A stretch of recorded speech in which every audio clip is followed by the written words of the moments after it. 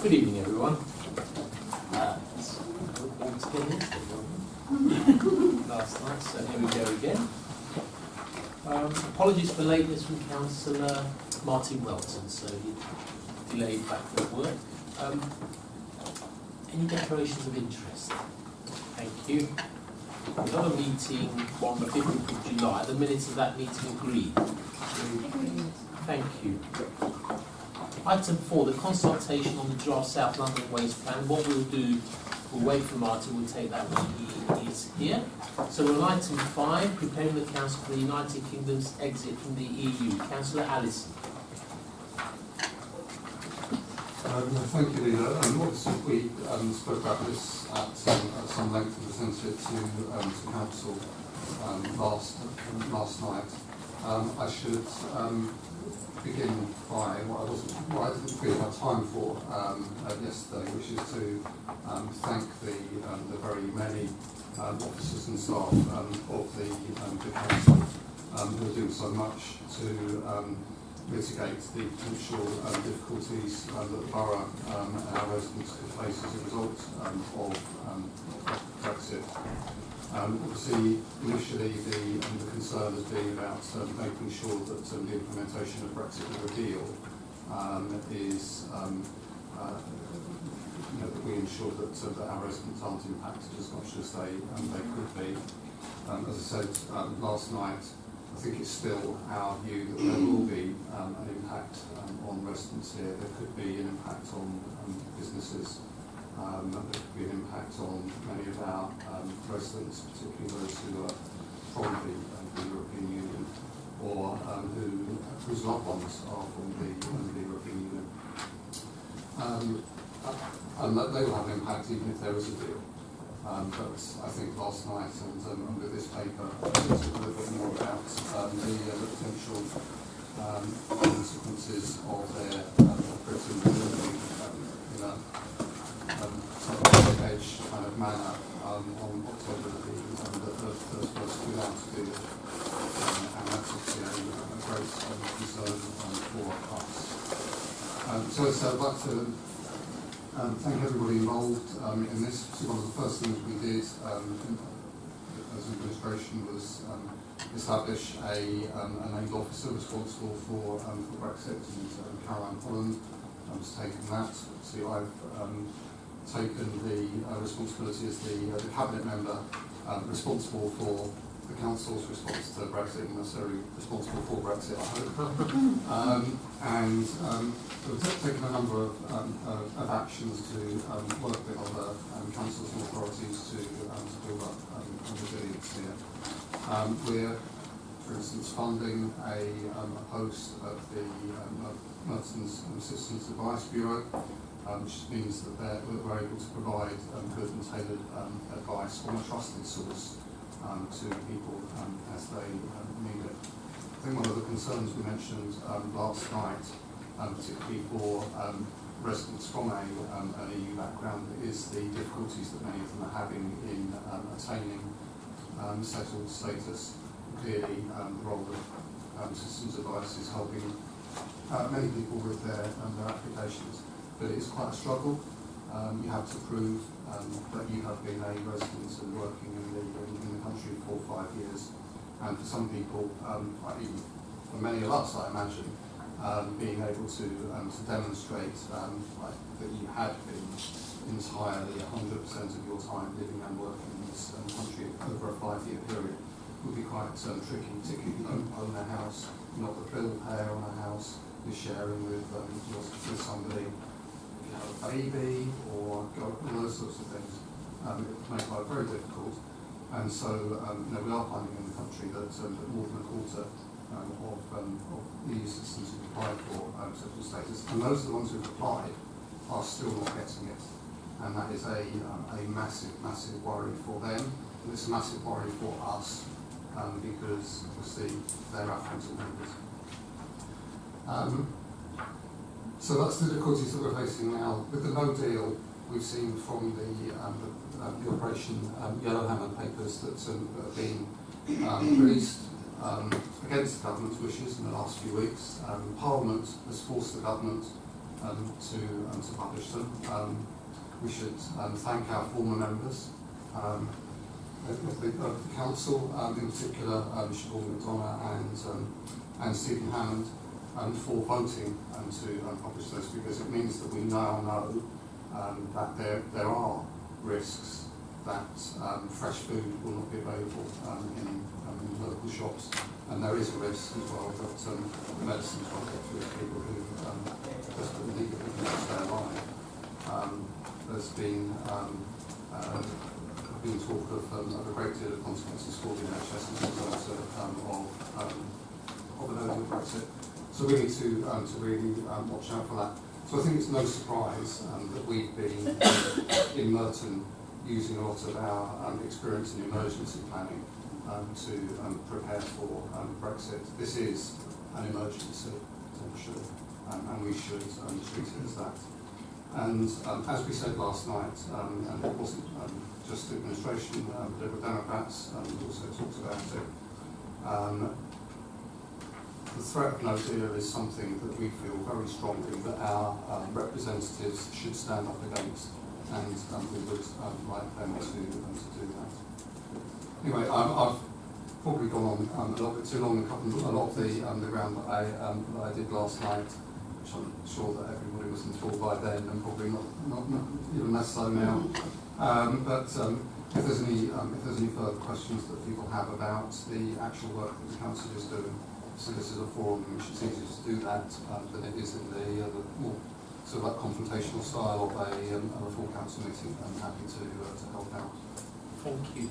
Uh, just for Councillor Walton's benefit, we'll be taking your item uh, later, item four, consultation with draft South London Waste Plan after this item on Brexit. We now turn to the lead officer on Brexit for the London Borough of Merton, Caroline Holland. Uh, Thank you, Uh, I suppose I just want to say there was a, a Brexit meeting on, on Monday um, for London representatives, um, and some chief execs were there as well. So it was just sort of giving a sense of preparing for a, a no deal for, for the end of October, what that would mean for us, what some of the risks are, and how we're working to mitigate those as much as we can. And those are some of the, the known risks. There are still clearly some unknown unknowns. Um, and therefore sort of we're quite clear that with this paper um, it won't include everything because there may be things that we don't necessarily think of. Or as someone said, it's once you pull a thread, it's five places removed from where you thought it was coming from. So some of the unintended consequences we're not fully aware of at this stage and we need to do some more work on that. And of the applications for settled status, so we're estimating to around 8,400 for Merton, but we don't know whether they're successful or unsuccessful. So we're still pushing government to give us some more information as to how um, we can then help those who haven't yet applied. Because we want to make sure that certainly the vulnerable, both in Hannah's services and for those who we have, whom we have a corporate care responsibility for, that we are actually making sure that we are doing as much as we can to ensure those people get the second status that they um, deserve. Um, there's still a lot of talk as to whether we will be able to leave without a deal. There's clearly lots of work going on in, in Europe at the moment, some conversations around um, the evidence of the deal that uh, Boris Johnson needs by the end of this month, so slightly earlier timescales, and whether there would be a successful challenge to the amendment act which went through saying that we do need a deal before we leave. Um, there's also, I think, quite a lot of the work has been driven through MHCLG and getting some understanding there, but Department of Health and Social Care has sort of coming to the table more recently, working then with adult um, social care directors to see how we can play into what needs to be done and making sure that we can prepare as much as we can, um, or then dealing with the consequences. And so certainly we're looking at the short, medium and long term of some of these things because some of it will be policy related and it's how we pick up either where there's no GDPR agreements, what that might mean for some of our contracts, um, some of our suppliers, if they're not UK what risks that brings to us. So we're also working through those as well. But happy to take any questions. Thank you. Thank you very much. Thank you for your work on this so far. Any cabinet contributions? Councillor Ken Braund, and then Councillor Edith Macauley, and then Councillor Carol Cooper and then Councillor Tobin Byers. Yes, Ken. Um, so I, I have two questions. One um, probably for Caroline and then one for Rachel. Um, firstly, I know that we have funded the post uh, at the Merton Citizens Bureau. Do we know how many referrals that they might have received uh, related to Brexit? And do we have that kind of data? Does it split down on that level? Um, and then for Rachel, I know that in the uh, report we talk about the action plan for looked after children, uh, for whom we are corporate parents. Um, it's uh, mentioned as being being developed uh, in conjunction with the Home Office, but do we have an update on that that we can perhaps share today? So certainly, I think the person's only been in post since the end of July, um, and that is part of the information we will be getting from them as the type of queries that are coming forward, both from staff and for sort of residents of the borough, because we're also very clear if there are more cases than they can handle, we may look to sort of extend that as well. And so we will have that information to feed through uh, back to you at a later stage. Um, so what? So I can't give you an update of numbers of children and their current status uh, at the moment, although I can seek that answer for you. What I can tell you is that there are two elements to this work around settled status for looked after children, and it depends on whether we have parental responsibility for them or not. So for the children for whom we have parental responsibility, we're pursuing settled status for them. And for those who are accommodated under Section 20, their parents still have parental responsibility, so our role in that situation is to support them to make applications for settled status, uh, we can't insist. Um, so that's the work that's underway. Thank you very much. That's interesting to know. So where we are there, corporate parents will undertake the second status application for. Where, where we have parental Yes, it is. Thank you. Thank you. Councillor Edith Macauley. I, I think mine is more for comment because um, Safer Merton is continuing to um, monitor the community as a whole in terms of, you know, anxiety amongst people because I noticed, I have been speaking to a lot of boroughs and also we have seen a lot of increase in court procedures where um, people have committed offence in terms, in terms of this Brexit issue. So a lot of people, London laws are monitoring the situation amongst the community. So I'm delighted to see that we are working the police in terms of the safety of our community. Thank you very much. That's very reassuring that London boroughs are working on this. Councillor Caroline Cooper Marbiah. Thank you very much, Chair. And for Caroline. uh, well, in terms of um, no deal, we talk about emergency planning. I was just wondering where, where are we compared to other boroughs? And also, what, what are some of the things that we are planning for? Thank you.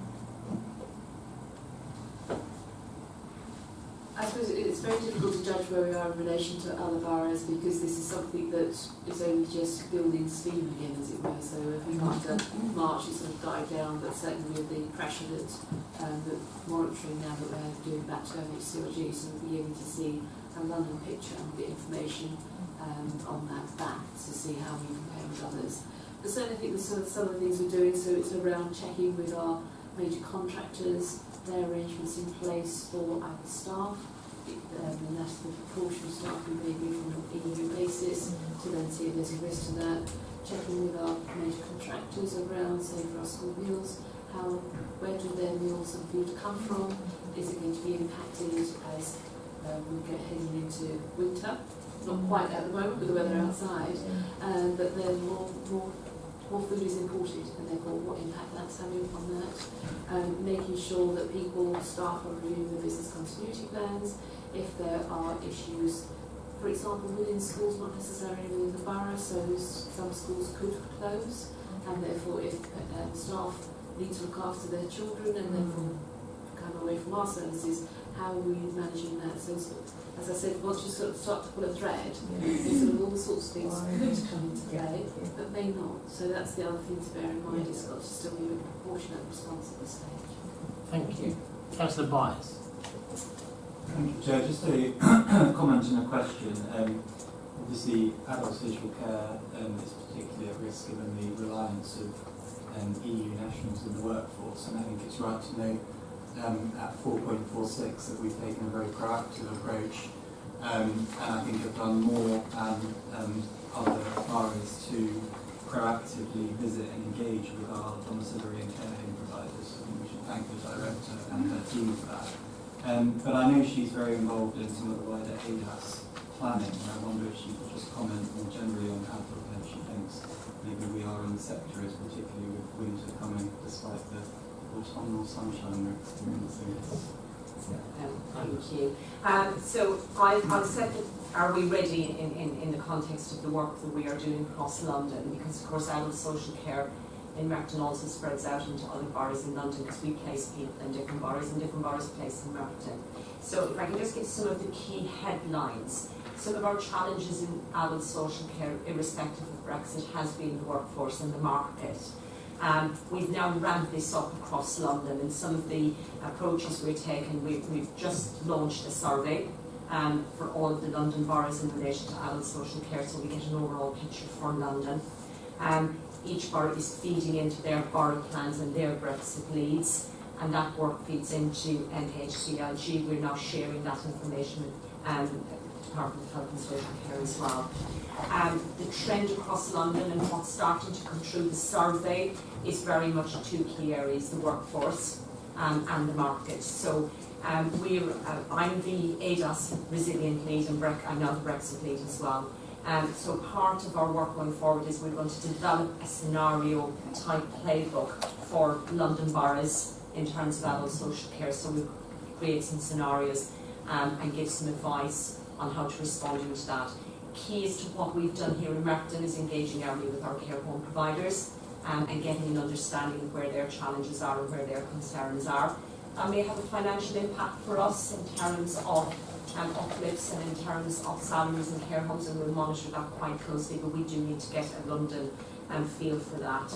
Um, we're also working incredibly closely with the NHS. We are hit, hitting winter so we've got, we're now sharing data across the NHS and across London boroughs in terms of not just hospital beds but care home placements as well. Um, and we have um, made a very clear ask um, through our leadership role for London to DHSC in relation to specifically a couple of things. One, we know that doctors and nurses um, and occupational therapists are on the top list for roles in London, but um, unqualified professional roles aren't, and we need to get them on that list because it can make their applications a lot, lot easier. So we're really pushing for that. Um, we've asked for some confirmation around EU settlement um, status, and we've also asked around trying to get a reduction on 30,000 um, top cap um, in salary, because we know that the majority of professional care workers earn less than 30,000. So that's kind of our London approach and London and London view at the moment, and then we continue to bring that down into, into Merton as well. Thank you very much. Caroline, you wanted to come in. So I suppose it was just to say that sort of cut in the run up to winter and I think after the flu season in Australia where it's been a particularly prevalent um, strain of flu, um, we have had confirmation that they feel that public health feel there's sufficient flu jabs, certainly um, for London. So that I think was encouraging news, but it's still they're making sure people take them up. So but just with, that's not one of the um, medicines at risk at this stage. Councillor Whelton. Um, thank you. Um, I'd just like to refer to the part um, relating to um, regeneration um, and specific reference uh, to 4.70 the impact um, of Brexit on our existing regeneration and building schemes. Um, obviously one of the concerns at the moment is uh, shortage of labour, uh, especially if we have a no-deal Brexit um, when um, new immigration controls will immediately go into effect and there will be no um, transitional period, but also as well the potential um, uplift um, in terms of uh, construction costs for developments. Would the Director like care to comment on that matter? Because clearly it is a concern that in the event of no deal Brexit, we obviously see fewer regeneration schemes happening in the borough, um, but also as well in terms of investment in the market, and also as well the current impact the uncertainties happening at the moment in terms of regeneration. Yeah, I think it's a, it's a real concern, uh, and it's one that we'll need to keep a very close eye on. And the timing of some of our regeneration schemes at the moment is helpful. We anticipated uh, Brexit during this calendar year, and the regeneration of Morden Town Centre is expected to go to the market in the early part of next year. If Brexit is delayed, we have a no-deal Brexit, uh, and that could affect the market and affect the prices and the interest in that regeneration scheme. Uh, and the same could also be said for Merantun, but on a smaller scale. And our own housing companies' construction costs may be affected by Brexit, uh, and we need to consider the timing of those sites if uh, no deal Brexit happens, uh, and the impact that it might have on the private rental market, but also on uh, the construction costs. So those two particular areas are being kept under close review, uh, and we'll need to look at the impact on other larger schemes which are outside of our control, uh, such as Crossrail 2, uh, and what might happen there, as well as other infrastructure projects across the Thank you. Uh, Chair, um, have we, um, with regard to our staff, have we um, spoken to them, consulted with them, and is that Citizen Advice Bureau service available to them, even though they work here but may not live here? Uh, yes, we have. So our, our HR department provides uh, advice and support to any of our staff who, who would be in pool would need to um, consider their status and make applications. Uh, and we, we use the staff survey to identify uh, uh, the staff who were in that classroom that information to um, Good. There's one other item that I was going to share the route. I'm denied about it because it's a problem that I can't see a solution to, but I think it's important people are aware of this, which is um, the sorry. Um, our, uh, our emergency planning functions uh, work on the assumption that London provides mutual aid to each other. Um, over the last 10 years, we've reduced the number of staff that we've got in emergency planning and in local authorities generally. So the spare capacity to react to issues is quite constrained in any individual authority, but we can help each other. So when Kingston had the unexploded bomb recently, they asked neighbourhood to assist with that. Sutton had their fire, we were able to help them with their, by so what that assumes is that an emergency occurs in a discrete area at a single point in time, and then we can all run around to help. Uh, the danger here is that it might happen everywhere at the same time. Uh, and if that's the case, then our resources are not going to be sufficient to, react to that. Uh, and there isn't time between now and the 31st of October to suddenly require a significant number of additional staff. So if the worst does happen, it's likely not to be localised so that we can provide support. It's going to be everywhere. Uh, and I'm not entirely sure what it's it's important people are aware that that's how the system is set up. And I assume that it's not just for local authorities, but for our partners as well. Uh, some and some. Um, uh, the NHS uh, has had a specific, specific emergency planning function for quite a while and is reasonably well resourced. Um, uh, our police colleagues, as we were debating last night, have had reductions. More is now coming available to them, so they're more in the same place as we. Thank you, everyone. Um, as we all know, we're a Remain borough, and uh, this is a, a, an area of great concern uh, for us as a council, but for residents as well who wish to remain in the EU.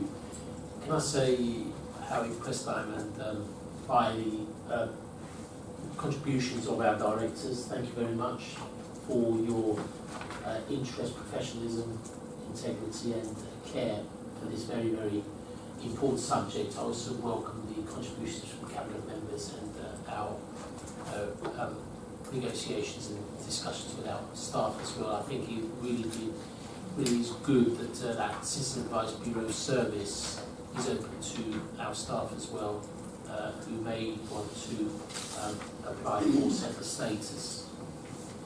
Added to yesterday's debate on uh, this report, I think we are doing all we can uh, to prepare obviously what we want uh, politically uh, as a cabinet uh, uh, is to remain in the EU, um, but the reality is that directors and organisations such as local authorities must prepare for what may happen, not for what we'd love to happen. So thank you all very much uh, for your care and attention to this uh, item. I know that we are um, communicating with our residents through that very popular uh, uh, magazine, My Merton, that goes to all 86,000 households and has had various features on this. There's a, a full page spread as well as various uh, um, um, contributions over the last year on, um, on this issue. So we come to our recommendation, that's recommendation A, is that agreed? Thank you all very much. We now move back to item four, consultation on the draft South London Waste Plan. Councillor Martin Welt. Uh, thank you, Chair. And you probably wonder why um, this is coming to myself, um, this waste plan, as a lead member. Well, it relates to a planning document, which is a key planning document, um, because the South London Waste Plan is one of um, the documents which will contribute um, towards uh, the local development scheme, um, which was passed um, at Council last night um, in terms of the supporting documents that are required. Uh, this is the second uh, South London Waste Plan. Um, the first was adopted in 2012 and runs till 2021. Um, I'd also like to make clear that it's not relating to waste um, collection. This is a wholly separate matter, um, but relating uh, to waste uh, disposal. disposal. Uh, clearly, we do have to have a plan um, in place and we have commissioned um, consultants and physicists uh, to review all relevant data from different sources from the geographic area for partner boroughs, uh, such as the existing waste transfer and management sites, the origin, destination and quantity of each type of waste that is imported and exported, the projected amounts of waste to be generated within the area, and the capacity to manage the amount of waste apportioned um, in the partner boroughs in the draft London plan. Um, as I mentioned at the council last night, we are guided um, by the London plan, which will hopefully be in effect from the middle um, of next year. Um, clearly, any plan um, that we adopt um, has to act um, in full um, conformity um, with that um, plan. You may ask, what does the South London Waste Plan um, cover? What specific um, planning policy areas well, it covers local authority uh, collected waste uh, construction, demolition and excavation waste, hazardous waste, agricultural waste, clinical waste, radioactive waste, wa and waste uh, water and how that will be um, treated.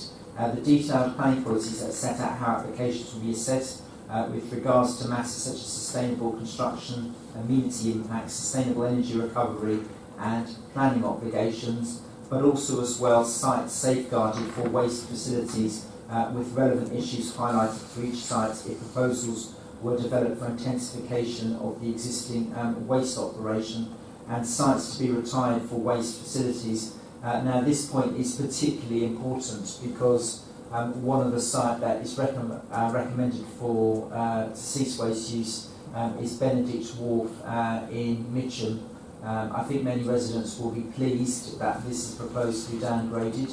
Uh, Suez are looking at locating, a planning commission last week from Sutton Council uh, for a new waste site and this site as well offers a huge development opportunity and the potential to build um, over 600 um, new homes. Uh, so the designation is something um, we um, actually um, welcome um, as an authority.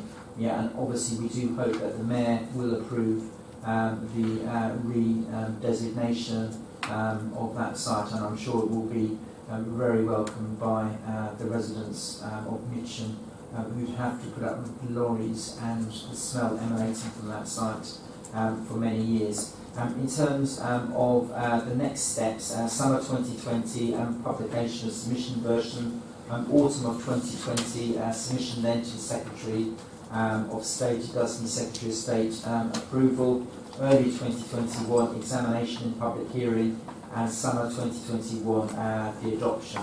Um, and finally, I'd also like to thank uh, the work of the Borough Plan um, Advisory Committee uh, for actually scrutinising um, this document. Uh, it is quite an extensive document. You've seen obviously Appendix A um, and Appendix B. It runs to many hundreds um, of pages, but I'm quite clear that as we move forward, I think there is positives um, in terms of this document, but obviously it's out for consultation, and that consultation will run um, from the um, end of October uh, through um, to uh, December. That's unless we have um, a general election in between. Thank you. Thank you, Chair. Thank you, Councillor Whelton. I now turn to the lead writer on this, Chris Lee. Just, just two things to add, Chair, to that comprehensive introduction. One, Uh, this went to Borough Plan Advisory Committee and uh, they were entirely content with it. Secondly, the consultation period from the end of October to December is to reflect the fact that this has to go through each of the four boroughs' executive bodies. It's coming here first, uh, so until it's been through the three years, it won't be available to go into the public domain, but we expect that to be by the end of October.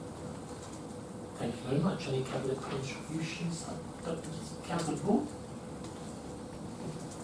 Um, so I know at 2.5 um, it talks about the London plan setting uh, boroughs targets, um, and one of those targets is having zero biodegradable and recyclable waste going to landfill by 2026. Um, to what degree do you think the South London Waste Plan allows us to be on track with that target? Um, I think we're pretty much there now. Um, the only waste we have going to landfill is what's called bottom ash out of the, it's the byproduct of the energy from waste uh, operation. So um, we're in a very good position. Just run that by me again, Chris, 'cause I like it.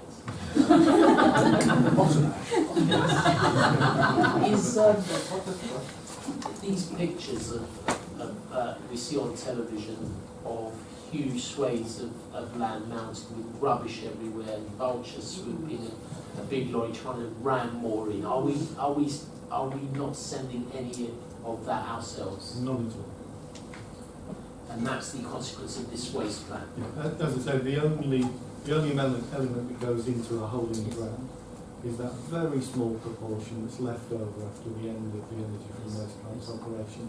And the only waste that's going into the energy from waste plant Yes. is non-recyclable waste. Yeah. So our food waste, our paper, our card, uh, and our dry mix, plastic tin cans and so on, is going elsewhere. Very pleasing. Councillor Blight. Just on that note, um, it is recycling week next week, and the um, South London Waste Partnership has produced a very good video which shows exactly where all of our um, recycling and general refuse goes, which will be pushed out by um, their own consume and our consume next week. So that that explains where the bottom ash comes from. Thank you very much. So we're on item four. Uh, good news, uh, uh, move towards the consultation on the draft South London Waste Plan. Uh, we have recommendation saying B and A agreed. Agreed. Thank you very much. We move to our last two items, uh, which the Cabinet member may wish to take together. So items six and seven. Item six, financial monitoring June 2019. Item seven, financial monitoring July 2019. And it's now over to Councillor Mark Allison. Yeah, thank you, Leader, and um, I will take them both together if that's okay. Um, there's um, a few um, um, in here um, as well so as part of the recommendations that we have. But the, um, uh, the main thing um, that uh, to say is uh, just a big thanks, as always, to everybody um, who um, contributes to, um, to these reports, um, led by um, Caroline and each of the, um, the directors. It's a very important part of the, uh, the discipline of being a business-like council that we monitor the financial position month after month after month. Um, because with the constraints um, on us from um, austerity cuts that we've um, had over the um, last nine years now, um, it is it is ever more important to stay as close as we can to to the actual budget um, in order to avoid um, a position where we have to dip into reserves or cut further um, in order to, um, to maintain services. Um, however, we do recognise that this is also now getting to the point where it is very, very difficult. Services have lost funding to such an extent that in order to be able to provide the, um, uh, the required level of service, um, it is very testing um, on, on the finances. And although um, I should highlight um, that it's still quite early in the, um, in the financial year, um, we are um, still relatively close to the um, budget, I think just 0.2 million out at the moment. However, that itself hides a number of things that are going on at the moment, and we should, for instance, look at the, at the, at the expenditure in some of the services and the strain that they're under. Um, Children's um, Social Services and Children's Schools and Families um, is um, looking um, at there being nearly two million pounds um, variance um, there um, already um, in the in the year, and the strains on that um, that service due to um, government um, cuts and due to um, increased demand um, from um, residents is going to be very very difficult for us over future years. And it's going to be, I think, a theme um, that we're going to have to um, be looking at as a council over the next um, few years. Um, also to point out that um, this is the, um, the financial monitoring of the this year's budget. Obviously, future years' budgets we're expecting we're going to have to, to reduce. We're expecting in the next budget round that we're going to have to make uh, very significant further savings, um, which will add yet more to, um, to the pressures. And that's because the, the, the financial um, budget, uh, the, the, uh, the report from the, uh, from the Chancellor um, just it two weeks ago, um, was um, was not as um, as generous um, or at all as generous um, as it tried to portray itself. And it does look as though there's going to be very significant council tax increases for our residents, according to what the, uh, the Chancellor has laid out, alongside even further cuts to, um, to what we're able to provide. And one the that, might have been um, missed in statement was that the, uh, the, the trialling um, of, um, of pooling business rates across London, um, which has benefited um, councils in London um, quite significantly. Um, that's, um, that's now ending and that will cost London millions of pounds um, and, um, and it will have a big um, impact on the, the size of cuts that, um, that London councils are going to have to make. Um, so once again, thanks to everybody for um, their efforts um, in this. Doing really, really um, good work that uh, we do as politicians understand the very great pressures that your departments are under and um, appreciate the efforts that you go to stick to the balanced budget. Thank you. I understand that um, uh, a postponement of um, cancellation of business rates pooling may cost us one and a half million pounds. Uh, and that came completely out of the blue from the Tory government. Um, Caroline Conley. Thank you. So I suppose just to draw your attention to the month three report, um, which went to the Financial Monitoring Task Group, uh, but because it went there and hadn't been here, um, that was sort of discussed as a confidential item. I just wanted to draw your attention to the fact that it's the same information that was um, reported there, and that also includes an update on our income um, recovery and including all the detailed savings.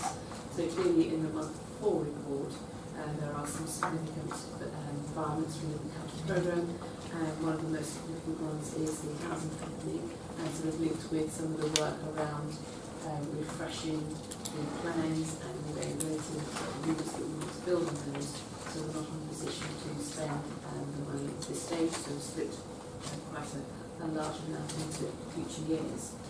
Um, and there's a scheme here for your approval, which will then require council approval, which is a change to what was the um, Women Lake desilting scheme to now do the um, urgent reservoir safety scheme as required under um, sort of government act.